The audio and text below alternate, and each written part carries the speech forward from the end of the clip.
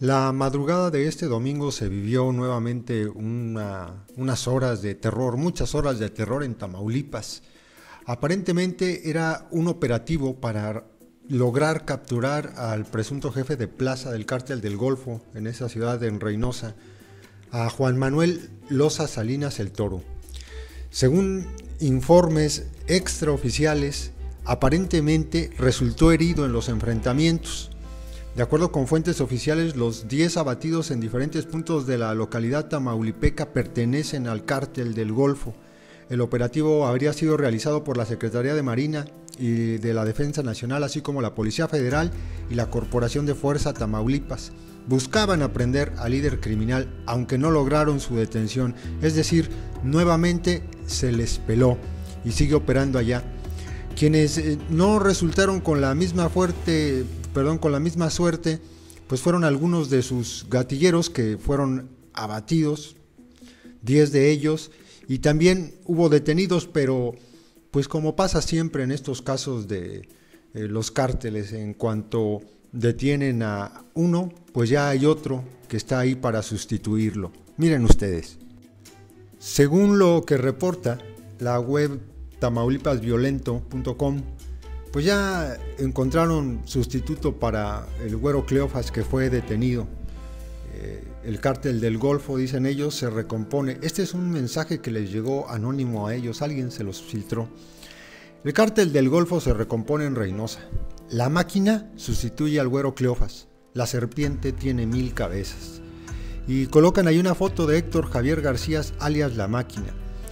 No, había transcurrido, no habían transcurrido ni algunas horas de la conferencia de prensa dada por el Comisionado Nacional de Seguridad, el delincuente Renato Sales, anunciando la captura del mando criminal del cártel del Golfo en Reynosa e identificado como Alberto Martínez alias El Güero, cuando el cártel del Golfo en esa ciudad y aún bajo las órdenes de Juan Manuel Loza Salinas ya se había recompuesto y tenía su sustituto en la persona de un ex policía federal de caminos a quien identifican como Héctor Javier García Villarreal, alias La Máquina, y quien fungía anteriormente como jefe de plaza en Díaz Ordaz, Tamaulipas.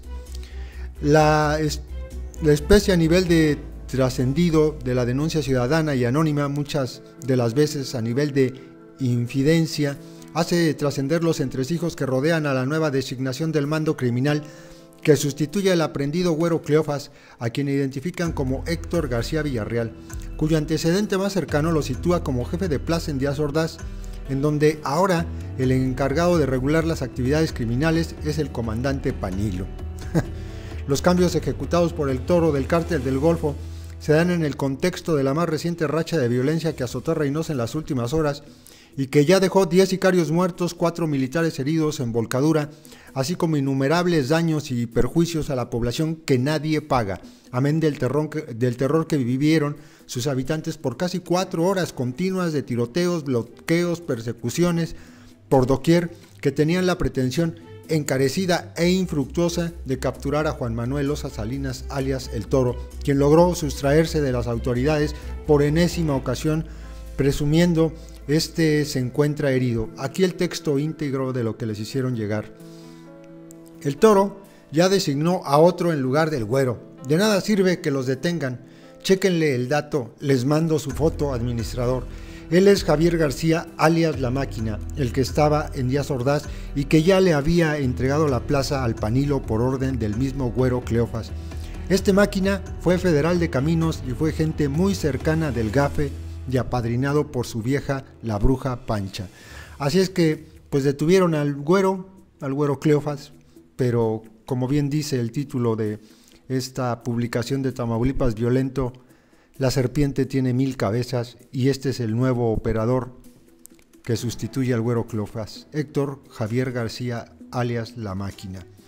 Y siguen deteniendo y deteniendo y deteniendo y esto no se acaba.